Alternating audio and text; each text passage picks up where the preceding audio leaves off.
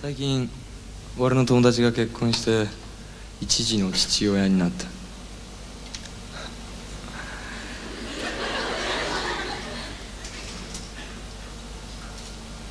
そいつと俺は昔から友達で中学校時代から結構いろんなことをやっていた。俺たちはバンドを組んでいてそいつらと俺のいつも言ってたことは俺たちはロックンロールってものをそんなそんな音楽を手にしてから嫌なことや自分を押しつぶそうとするものやそういったものに対して自分の感性を信じてイエスやノーそうはっきり言うことができた。それがロックンロールだと思う。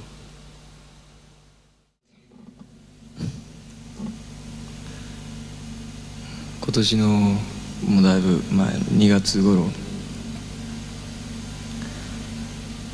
学校を辞めたってことがあって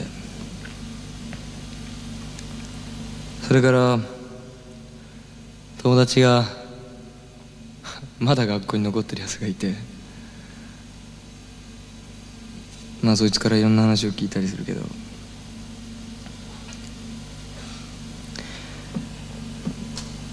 大概の先生は俺のことをまあ尾崎も悪いこといっぱいあったし、まあ、俺も好きなこといっぱいあったし悪いことは悪いことやったんだから彼が辞めさせられるのも当然ね。なんてそんなこと言ってたっていうのを聞いて。中ででも中で一番最後まで熱心に頑張ってくれた先生がこんなことを言ってた。ちょっと説教じみたいな話になるけど。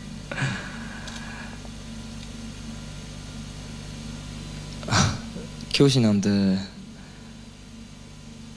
み台にしてきゃいいんだって。そんなふうなことを言って俺を励ましてくれたってことがあって。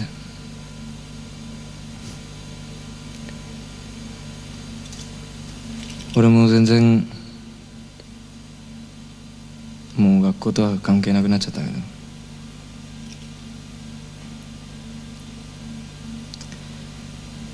今度は自分自身を踏み台にして生きていきたいと思う。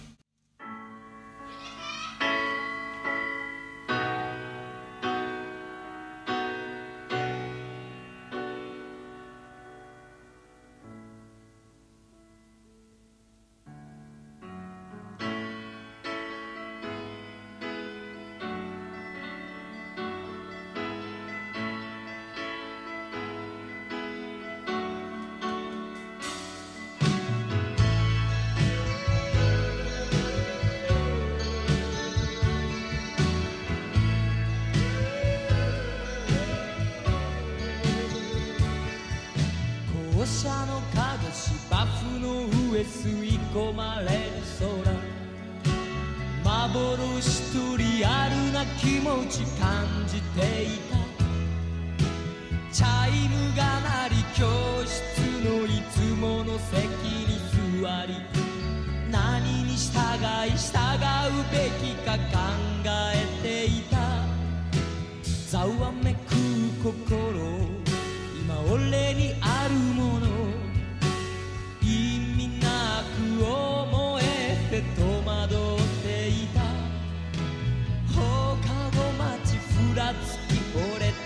は風の中。孤独瞳に浮かべ寂しく歩いた。笑い声とため息の飽和した。店で。ピンボールのハイスコア競い合った。退屈な心。を刺激さえあれば。何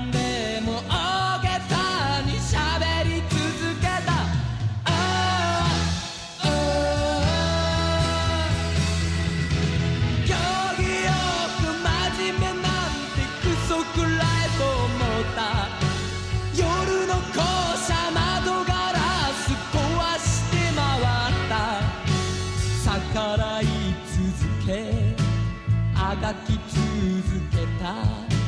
早く自由になりたかった。信じられぬ大人との争いの中で許し合い一体何分かり合えただろう。うんざりしながらそれでも過ごした。一つ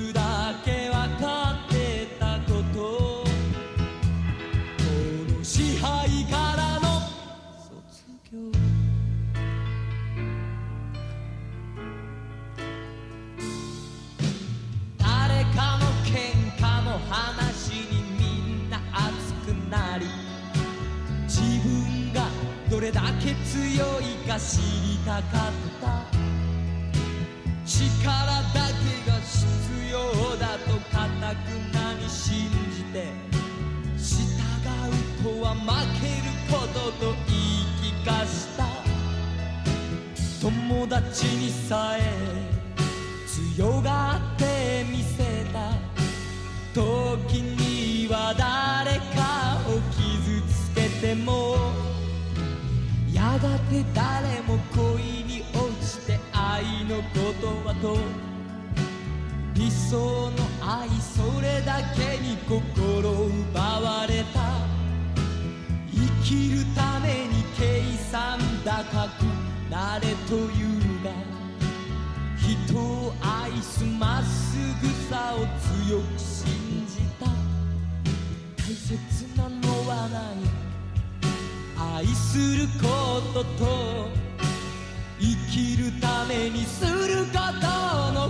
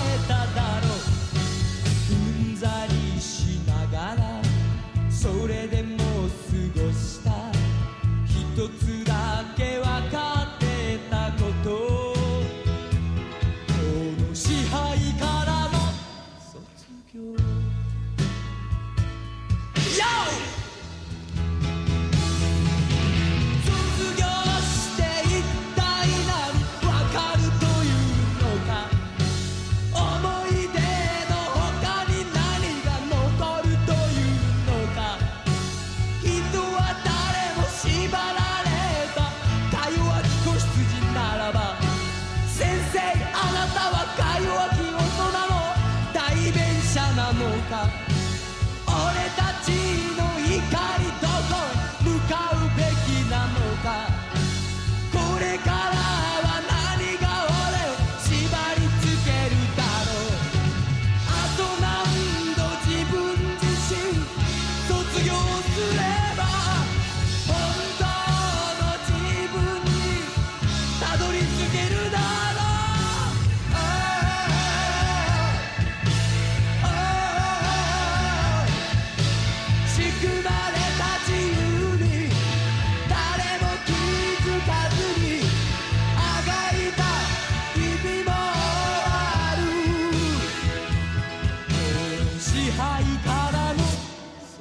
卒業戦いからの。卒業